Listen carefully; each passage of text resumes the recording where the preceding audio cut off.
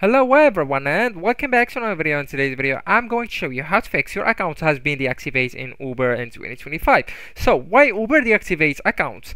It uh, can be uh, because of the violation of Uber's community guidelines. So for example, uh, for some abusive behaviors, uh, fraud, uh, unsafe conduct, etc suspicious activity like uh, you are using a fake location, multiple accounts, charge disputes, unverified um, or mismatched identity info, uh, fraudulence or failed payments, etc. So everybody, how you can fix that?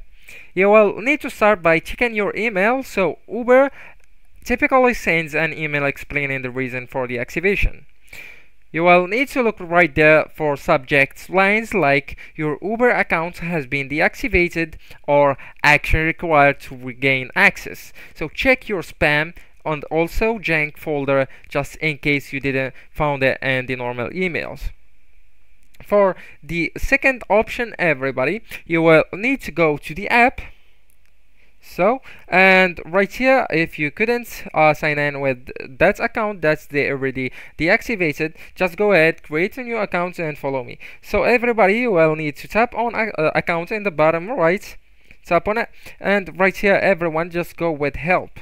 So it's located right here tap and after that just go with account. Right? Go ahead right here to I need to contact support.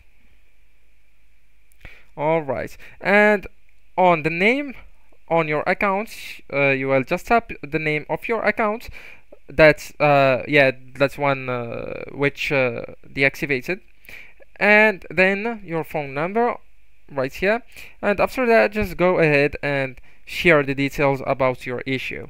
So just type right here uh, for example um, I believe this was a mistake and also you can uh, just add some infos about your issue.